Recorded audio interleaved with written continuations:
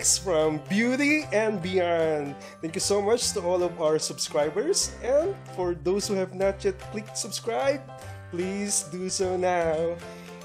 Today we're going to show you the sources of nectar and pollen around our neighborhood. And so Bibo and I are going to roam around, fly, fly, fly to see where are those trees and flowers. Yay! We'll show you why it's possible to do urban beekeeping here in San Andres Bukid.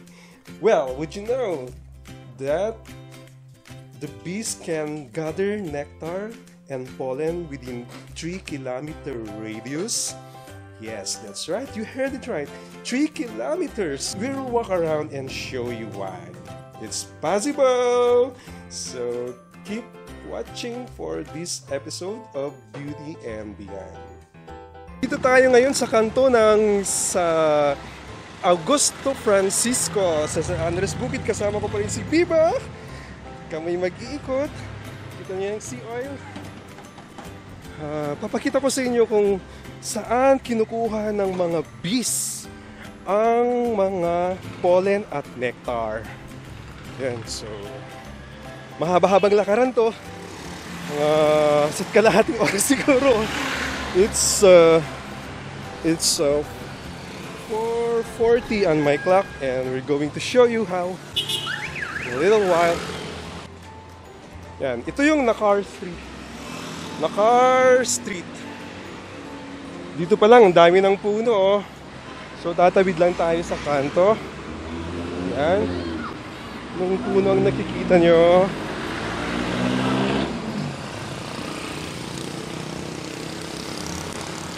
Ito, santol. Alam po kung anong mga puno ito. Ang babaggitin ko lang po sa inyo yung mga sources lang ng pollen and nectar. Okay? Kasi kung lahat sasabihin ko, naku, maubos ang oras natin. Sarap maglahad. Hindi masyadong mainit.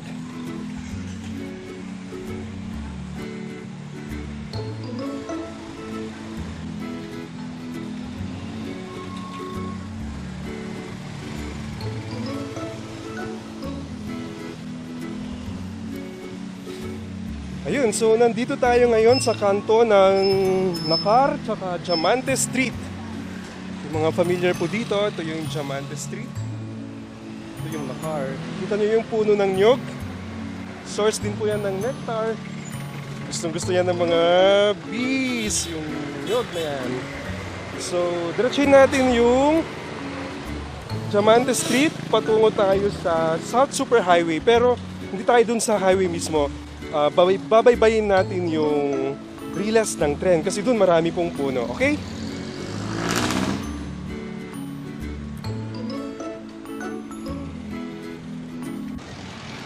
Ayan po, nandito tayo ngayon sa kanto ng Diamante at ang South Super Highway. Yan ang ginagawa po yung Skyway. Ayun po kung nalilipad din yan ng mga bubuyog natin. Pero papakita ko lang po yung rilas ng tren na to. Ang daming puno yung mga ipil-ipil, akasya, nara, at marami pang iba. Hindi ko lang po sigurado kung pwede nating lakarin itong itong mismong rilas dito. So, tignan natin. Ayan, mahirap pong lakarin yun kasi may mga guards. Baka tayo payagan. Pero kung makikita nyo po yan, meron pong puno ng akasya. Ano? Nara yan ah. Yan, nara. Ayan po, so makikita nyo yan, mga puno ng niyog, tsaka yung nara na namumulaklak na. Nara actually is one of the premium sources of honey, kasama yung acacia, tsaka sunflower. Ipil-ipil is also good source of pollen. Yan, so baybayin natin tong section na to. Yan din po ay nara. Uh, nagsisimula pa lang siyang mamulaklak, but you could see the buds you just get up close and personal, yung mga bees, gustong gusto nila yan. They fly to the Nara trees. Okay. Doon sa kabila po mga mangga, nyog, maraming nyog dito sa paligid po. Yan.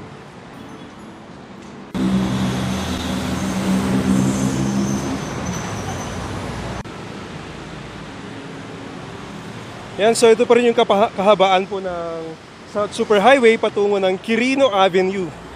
Gusto ko po kayong dalhin doon kasi doon po maraming mga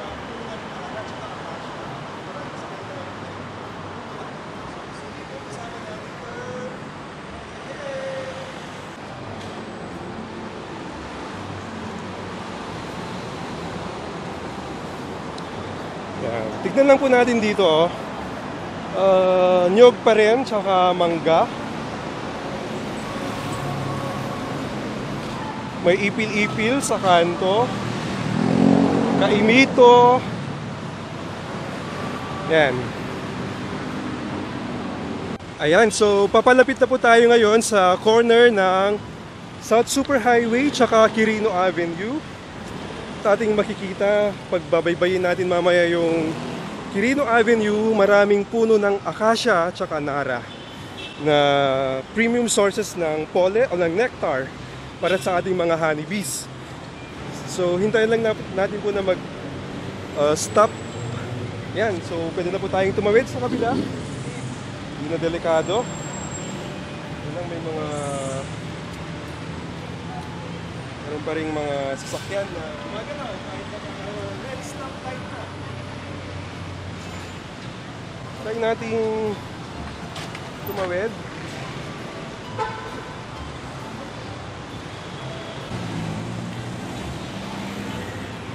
Yun, so nakatawid tayo.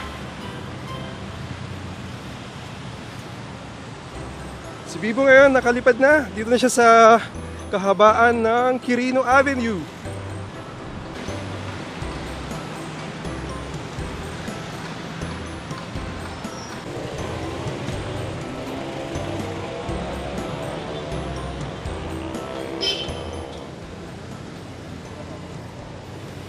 So Osmeña Highway. Yan po yung Nara. Tumumulaklak na po siya ngayon. Nagbad na po ba yan, sir? Namulaklak na po ba yan or hindi pa? Hindi pa siya? Talbos lang ngayon, bagong bulog, bagong taon yan. Oo. Nakakanan, ano mga taon yan. Bagong taon. Tapos yung pamumulaklak niya, sandali lang yan, no? Mga ilang araw. Ah, isang araw lang namin lalabas ako. Sir, okay lang po ba kung kita sa video? Ano po lang, nagdo-document lang kasi kami ng mga sources ng nectar tsaka pollen. Napapansin niyo po kung may mga dumadabo dyan. Wala na, wala mo bulog dyan. Wala. Pero dati meron pa. Ibon, may nakatirang ibon dyan, dalawa. Ah, ibon dyan, para na dito. okay. Dalawang ibon, pero kung bulog, wala na. Wala na. Ibig sabihin dati meron. Wala rin, wala. Ah, wala. Ayaw Hindi. Ito kasi, oh, pero yung premium source kasi ng nectar, yung bulaklak ng Nara tsaka Acacia. Masarap po yun. Oo. Sige sir, salamat po. Yan, ito naman, Aratilis. Gusto rin niya mga bubuyog na banggit. Ayan, kaya si Bibo, tuwang-tuwa siya at nakakita ng Aratilis. Yan po yung bulaklak niya, kulay puti. Yan. Wala lang siyang bunga pa ngayon eh. Pero ang bunga nito green, tapos pag hinog na siya, kulay red na. Oy, may nahuli yung mamang pulis. Ewan ko kanong kaso niyan. Tatawid na tayo! Ito, ba't namatay yung puno? Hindi ko na alam. Sayang. Ah, hindi, may, bulak, may mga dahon pa naman siya. Ito po yung acacia. Tignan niyo po yung bulaklak niya, kulay pink. And it still puzzles me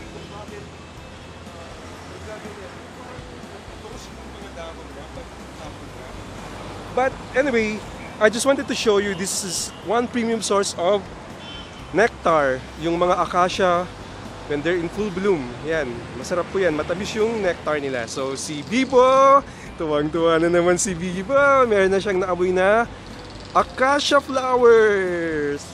Okay, so tuloy natin.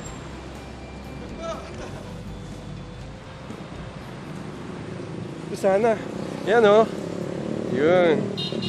Taling sana natin ito, kaya lang tulog naman siya eh. Uy, ano to? Oh, bulaklak to ng Nara. Saan galing to? Hmm, bulaklak ng Nara. Ay, ito pala yung Nara. Dito tayo sa President Kiruno Avenue. So, nakarating na dito si Bibo ngayon. okay, so we're here at the corner of President Quirino and South Super Highway. under the acacia and nara trees.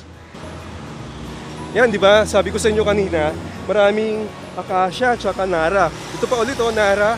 Yan. Biba, are you happy with? Yes, Bibo is all smiles because of all these nara blooms. Wow, kung pwede ko lang sana. Yan. Wow! Ay, yan eh. Upya. Yan, ito po yung buds pa lang ng Nara. Buds pa lang po siya, oh. Yan, pitasin natin. Buds pa lang siya.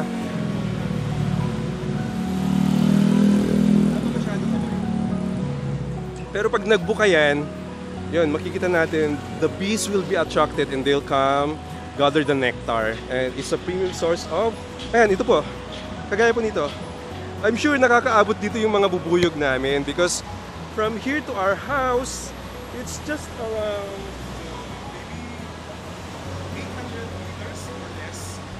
lang kami. Yan, so ito po yun. It's the Nara, Nara tree.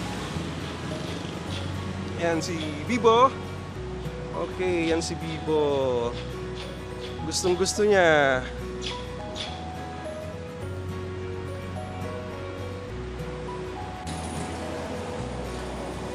Okay, so ituloy na natin ang paglalakbay.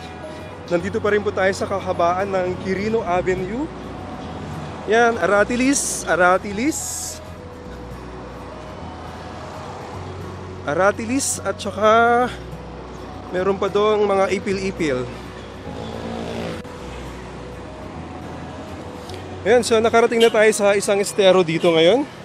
Hindi ko sure kung anong pangalan nitong estero na to. Pero may mga bulaklak din, may niyog. Pero ang gusto kong tignan talaga itong mga nara trees na nakapaligid. Mumulaklak na sila ngayon.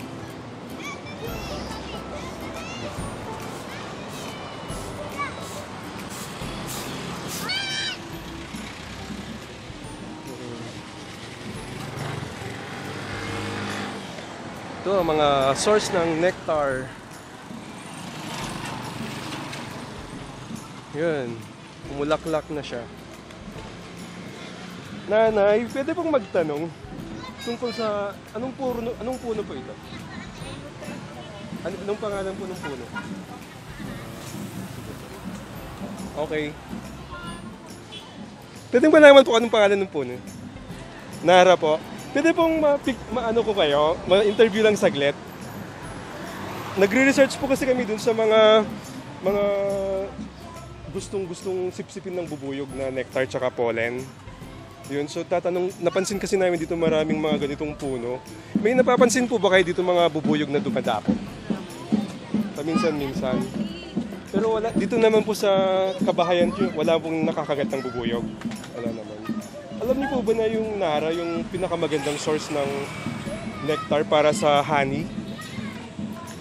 Ah, yun po. So, bale po, inaano po namin kasi na maprotektahan yung mga ganitong puno. Matagal na po ba yan dito? Mga ilang taon na? Bata pa po kayo. Sige po, salamat po.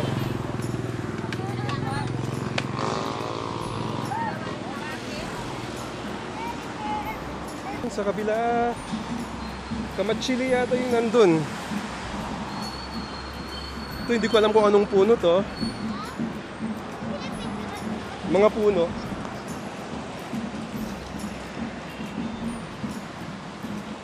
Ay, ito namatay.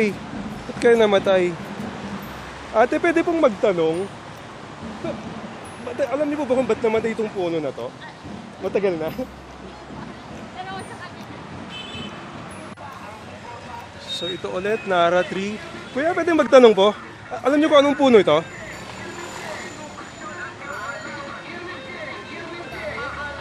Di ba Nara yan? Nara? Oh. Okay, kuya, pwedeng, ano, ano po kasi, nagre-research kami sa mga puno na dinadapuan ng mga bubuyog. Ito kasi yung, yung paborito na nila na puno, yung acacia at saka nara. Yung pinakamagandang source na nectar para sa honey. Pre-research lang namin yung San Andres Bukid kung may mga source ba ng nectar. Sige, salamat po. Sige. Ayan o, so, lapit na. Yan. Ayun, oh. Tapos Nara trees ulit. Namumulaklak.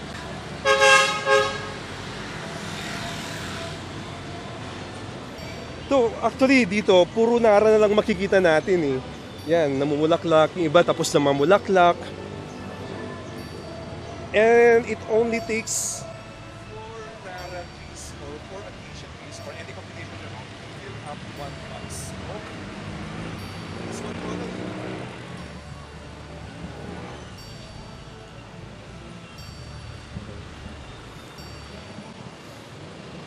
So si Bibo nakarating na ngayon sa Angel Linaw Street at ka- konto ng Quirino Avenue. Yan. Tsaka Angel Linaw Street. Yan, so si Bibo lumilipad, lumilipad. Galing siya South Superhighway nandito sa A Linaw Street. Angel Linaw Street at napapaligiran ng pagkarami-raming Nara trees. Kaya tuwang-tuwa na naman ngayon si Bibo. Oh, dadapo na naman siya. Hey, hey, hey. Bagong sipol. Bagong sipol.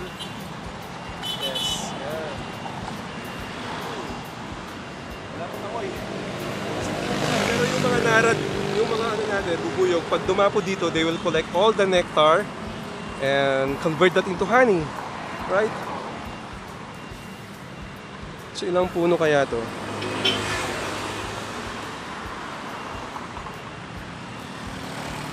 Ano pwedeng magtanong lang? Okay lang po ba? Yung anong pagkakaalam niyo sa puno na to? Anong pangalan ng puno na to?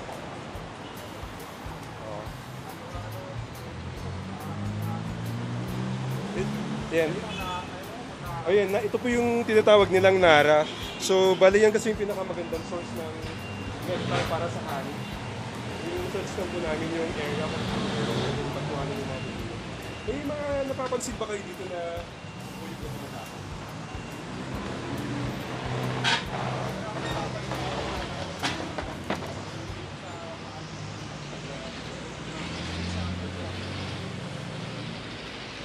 Sige, salamat.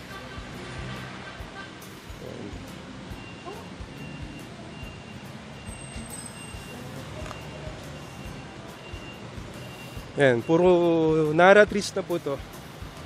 Kabilaan. Yan. So, hindi po nakakapagtaka na nakapag-produce po ng pure and honey for health and beauty. Sampalok. Gusto rin po yan ng mga bees.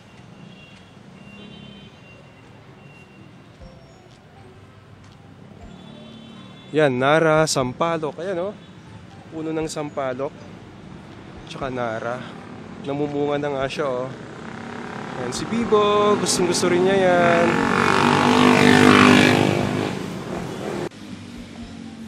Yan, so lakarin lang natin. Nara.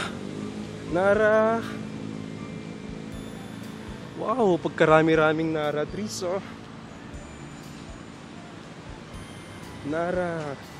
Maski sa kabila, Nara. Mumulaklak na yung iba. Nara trees. Tapos nakarating na tayo ngayon sa Singalong Street. Singalong Corner. Yan, so Singalong. Dito na ngayon si Bibo sa Singalong Street.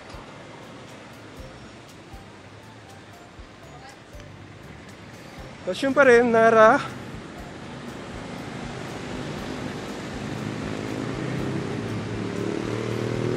Nara.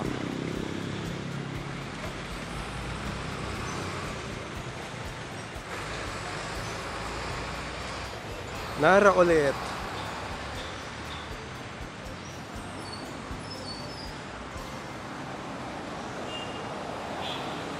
San Bartolome Street. Ito, puro Nara.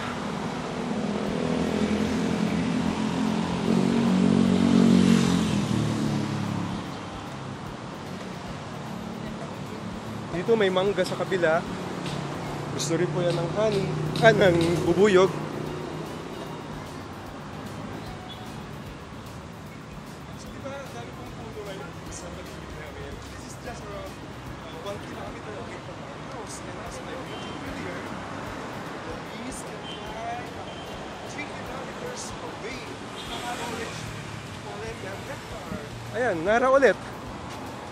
Ang daming Nara, oh. Oh, Nara. Wow. I'm sure nararating to ng mga bees sa bahay. This is just one kilometer away.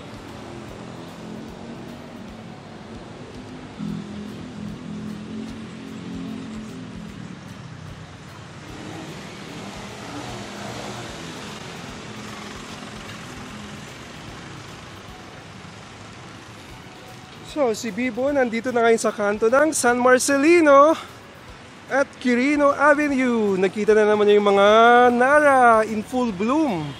Kaya sobrang tuwa na naman ni Bibo. Yehey! Yun, in full bloom yung mga Nara trees. At kabilaan din po. Tayong matatanong.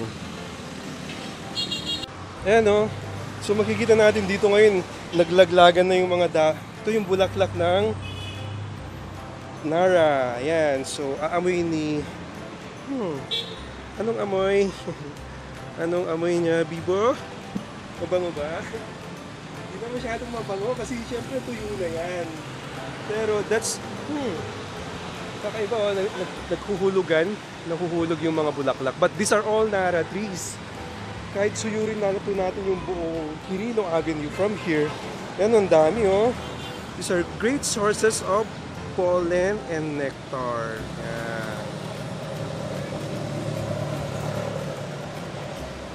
Sa kabila, so over here, Kami talaga. So malapit na tayo po makarating sa Taft Avenue, Quirino LRT Station. At kagaya po nung napakita ko, punong-puno ng Nara trees. Kabilaan po, oh. ito Nara din. Ano ba to? Aratilis? I don't know. But I'd be more interested with all of these trees on the other side right now. Meron ding sampalok. Ito, sampalok. Nara. Sa kabila may malaking puno ng mangga din.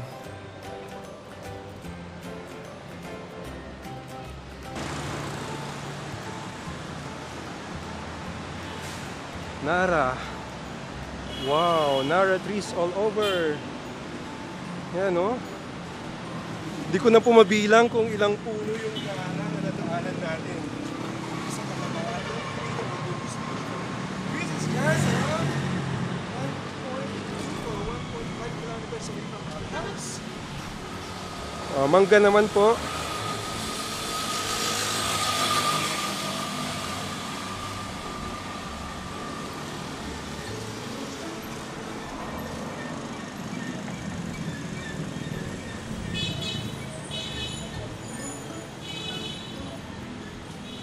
Yan, so si Bibo nakarating na sa Leon Ginto Street.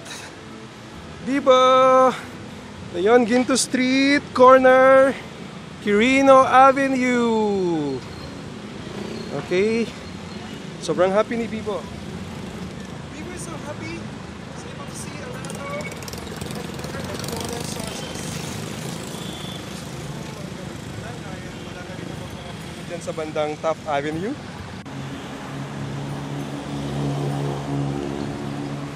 Okay,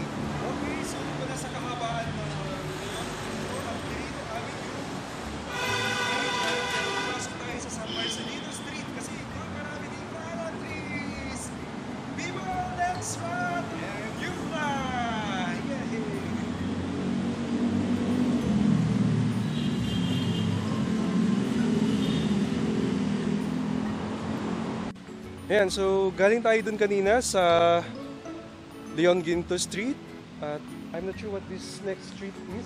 Oh well, it's called Agoncillo Street, corner President Quirino Avenue. So this is Bibo again. You could see that. It's a mango tree. It's also a good source of nectar. Doon po sa bandaron may mga kaimito and some palm trees. It's also a good source of nectar. Pero dito talaga ang daming nara. Ayan po. oh.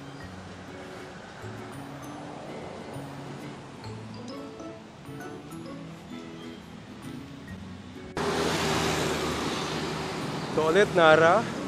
Ay, ito, ba't kayo namatay? Sayang. This is Nara tree. Not sure kung... Siguro hindi pa siya namulaklak. Kasi bago pa lang yung mga dahon eh.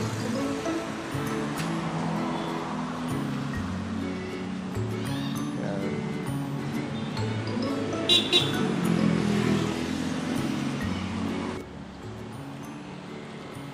Ayan, so it's been about one hour na. We're still at the corner of San Marcelino and the Quirino Avenue. So, nandun tayo sa kabila kanina, daming mga Nara trees. Papasok na tayo ngayon. This is the final leg. Uh, San Marcelino and then we will turn left. That would be already San Andres Bukid. So, dito makikita natin in full bloom na itong Nara tree. Meron ding duhat. And as we walk further, makikita nyo yung mga nandyan, oh, puro Nara trees na rin siya. Yung iba namumulaklak na. I'm sure, again, yung mga bispo namin nakakarating dito para mag-gather ng nectar. This is, this is just very, very, very near our place. Yan, so, about to bloom actually pa lang. Yan. Tanungin natin si Kuya kung taga dito ba siya. Kuya, excuse lang po. Pwede makistorbo saglit? Taga dito po kayo, nakatira? Ah, matagal, matagal na po ba itong Nara tree dito? Itong Nara? May mga nakikita po ba kayong dumadapo na bubuyog?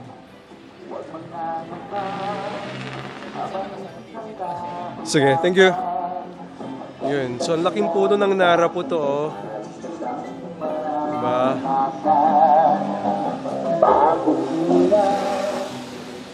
Yan. Diyos ka, imito. Yan, Nara ulit. Ang tangkad ng Nara tree na yan. Kaimito. May aratilis. Tanungin natin yung driver, baka taga rito siya. Yan, namumulaklak na po siya. Oh. Hmm, ang bango. Grabe yung bango ng bulaklak ng Nara talaga. Kaya sinabi ko, tungkol ko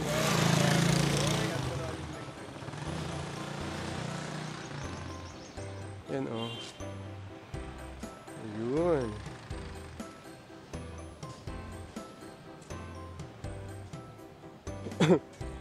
Kuya, pwedeng magtanong lang po. Taga dito po kayo. Ah, alam niyo po kung anong puno ito?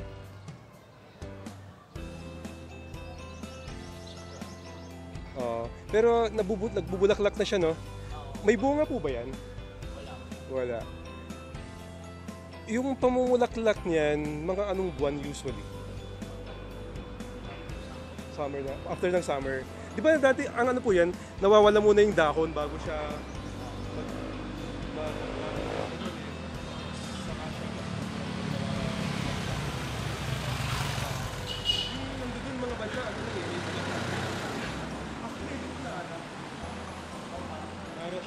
mga napapansin po ba kayong dumadapo ng mga bubuyog dito? Pag namulaklak na siya. Oo.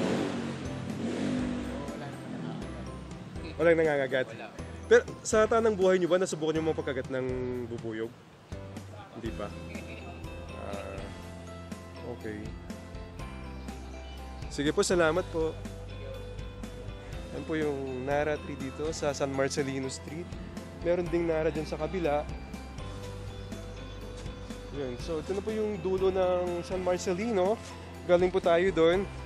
Diba? Ang daming puno ng Nara. na Nakita natin. Kaya si Bibo, tuwan-tuwa siya talaga na ang dami niyang nakita lang yung pwede pagkuhan niya ng kanan tsaka nectar. Kaya dito po rin sa ano sa Kaniya, we can guarantee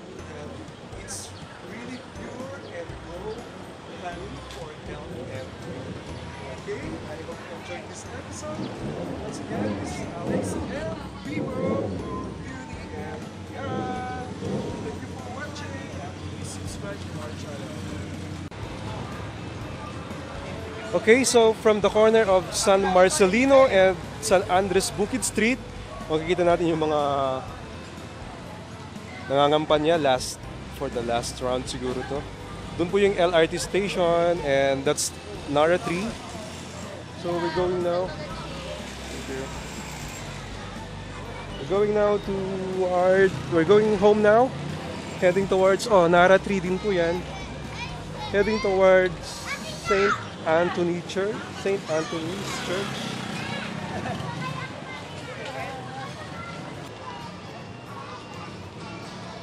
Dito wala na po masyadong puno. Pero doon banda sa may St. Anthony School, meron din pong puno doon ng acacia. Na I'm sure dinadayo ng ating mga bubuyog para sa paggawa ng haniya.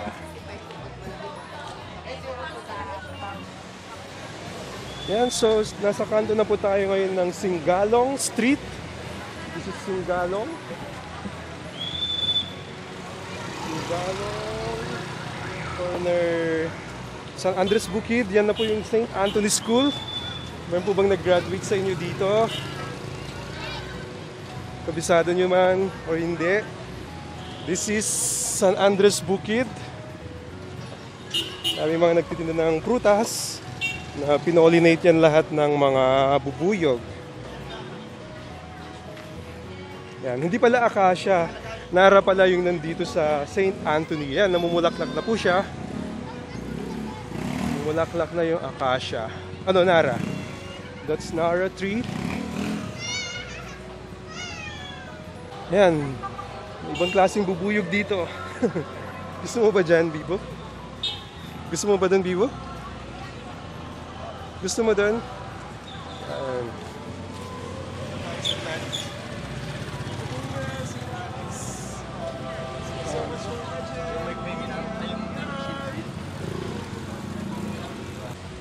Dito tayo sa Alinaw Street.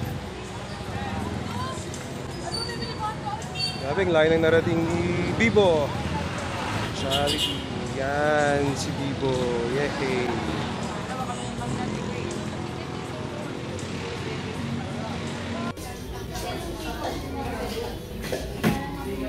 Ayun, so sobrang napagod kami ni Bibo. Grabe nilakad namin isang oras din yun eh. Kaya ito tayo ngayon, merienda saglit.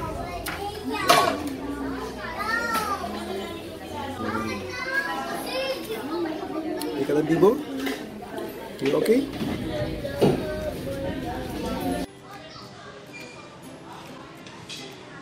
Ayan, so tapos na rin kaming magmerienda ni Bibo. Energized na ulit, pauwi.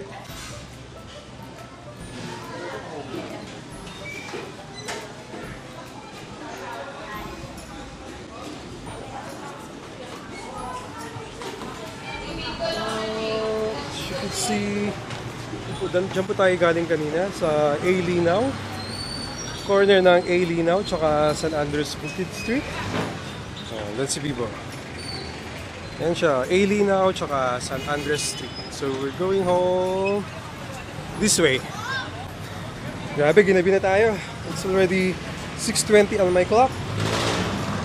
Almost 2 hours of going around. Well, medyo natagalan din kasi ako nagmerienda. And wala pong masyadong puno dito, kaya ah, papakita ko lang naman yung dinadaanan pauwi sa amin. But you would see that from here to our house is just around 600 meters.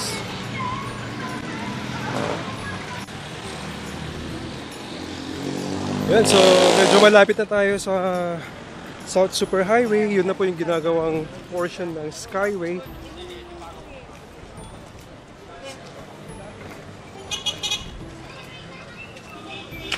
mga puno dito non-fruit, non-flower bearing na. So, I don't know for what purposes are these trees now. Hindi na sa mga pupuyog.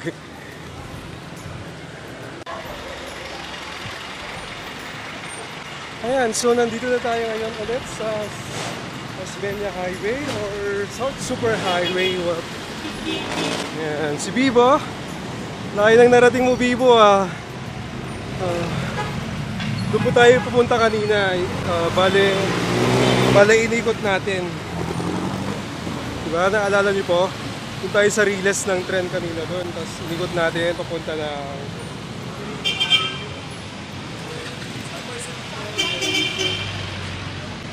Diyan, malapit na po yung bahay namin dyan, mga 8 blocks away. So, stoplight. Takbo na tayo. Ay, hindi pala. Pala tayo pwedeng tumakbo dahil naka-go na siya dito.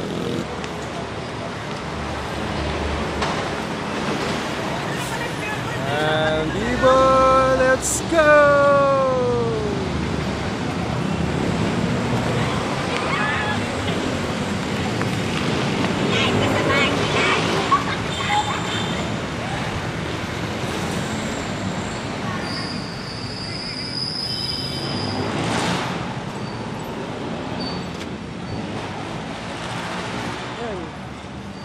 Yan. Kanina po mga dyan tayo nagpunta, di ba? Didiretso natin yon. So inikot lang natin. Sayang kasi gabi na, papakita ko pa sana itong pag tinuhog natin to, ang rilas ng train from San Andres Station going to Bel Rojas Station.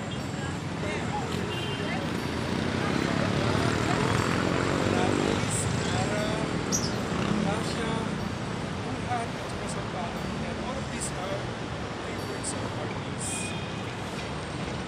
Okay? Magandang gabi po mga kapatid. Tayo po ngayon ng ikatlong ikatlong linggo ng Pasko ng Pagkatuhan. Ang mulo ko sa ating banunan. Yan, ito na po yung last part ng San Andres Bukid. So makikita niyo po dito may puno ng santol, mangga,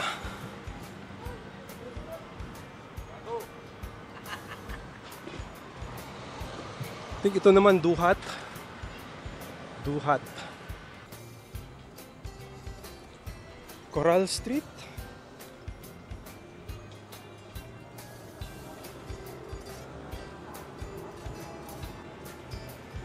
Finally, na Car Street. Diyan po tayo pumasok kanina. Yan. One way kasi to. One, one way yan, one way rin to. Papunta doon, pa, dito pabalik. Uh, na tayo makarating ng house.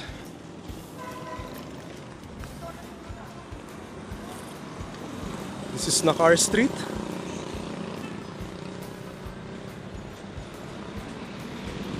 Yan yung sea oil.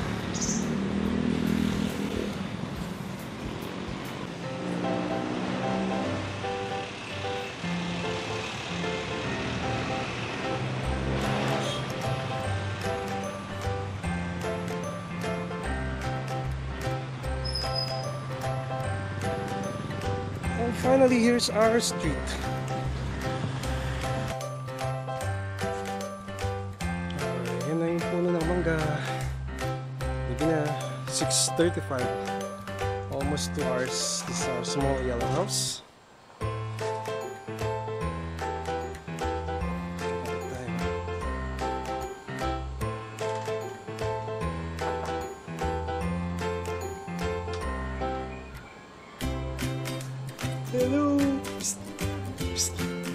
That girl? Who's that girl? Hey baby. Saan galing daddy? Bless. Bless. Kiss daddy. That was really a fun walk.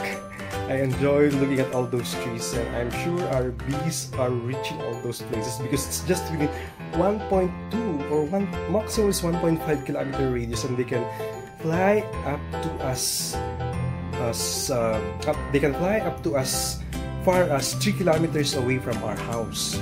Imagine that. So for those of you who are interested to do urban beekeeping, the first thing you need to do is to check if there are possible sources of nectar and pollen because otherwise your bees won't survive, they won't last, and they won't produce honey at all. That's really what I wanted to showcase in this episode of Beauty and Beyond. And of course, another purpose is to let everyone who's going to buy or who already bought Hania, pure and raw organic honey, for health and beauty. That there are really great sources of nectar from around our house. No wonder we are able to produce this kind of quality, pure and raw honey. For those who already bought and tried, thank you so much. For those who will still try, we thank you still. Once again, this is Alex for Beauty and Beyond. Please share this to your friends and loved ones who might be interested with this kind of content. Once again, thank you and have a beautiful week ahead. Bye bye.